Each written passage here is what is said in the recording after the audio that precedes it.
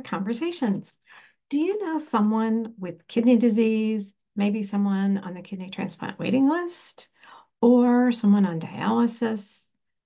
Maybe you are just curious about living kidney donation, or maybe you're a family or a friend of one of those people. If so, keep watching. Um, would like to give you a 2024 update for the new year for Kidney Donor Conversations. In 2023, uh, we were able to, after six years, update and refresh our logo, fonts, and colors. So Amanda Fry did that. She happens to be my daughter.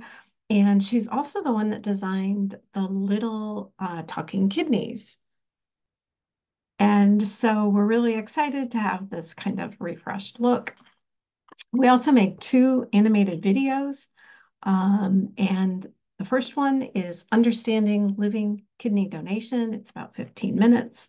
The next one is Understanding Living Kidney Donation Voucher Programs, and that one's about eight minutes. Uh, people have asked if it's okay to share these or embed them on a website, and absolutely yes. So, especially for anyone looking for a living kidney donor, that's a great idea to help them provide more information about what that process looks like uh, to donate a kidney and why you would even want to have a living kidney donor. And I'll provide the link for those um, in that series. Um, you'll see it below.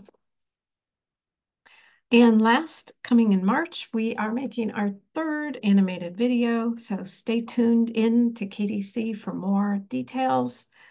Be sure to subscribe to our YouTube channel to stay connected with more kidney donor conversations.